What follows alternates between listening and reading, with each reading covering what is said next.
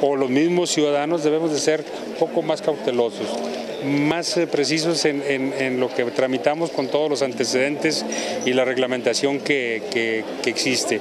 Se puede hablar de muchas cosas, se puede hablar de corrupción, se puede hablar de mordidas, se puede hablar de lo que tú mencionas hace, hace unos momentos, pero pues, todo depende de quién lo, de quién lo, lo esté haciendo. Yo creo que el sentir y el común denominador en México y tal vez disienta de muchos que les ha ido mal, este, no es así de esa manera. Sí nos gustaría, nos gustaría que fueran a veces menos reglamentarios, más confiado, que el gobierno confíe más en los ciudadanos, confíe más en lo que estamos solicitando y que no nos pidan tanta, tanta tanta documentación o tanto trámite.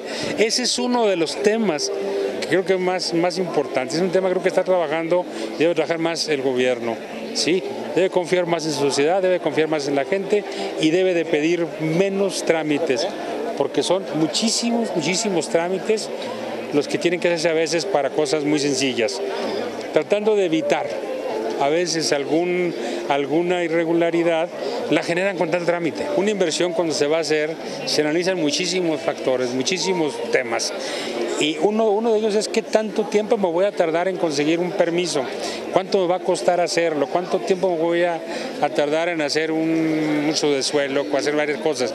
Entonces ahí es donde, donde la autoridad puede ayudar. Cuando la autoridad se identifica claramente, como, lo han, como se ha hecho, como facilitadores para la inversión, bueno, pues uno de los temas importantes es este, el de cómo reducir la tramitología.